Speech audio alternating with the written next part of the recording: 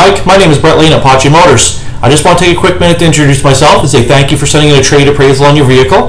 Uh, I'd like to invite you in for an actual appraisal. If you can't make it in, you can also send me via email uh, VIN number, pictures, kilometers, condition. I can uh, try to get you value that way.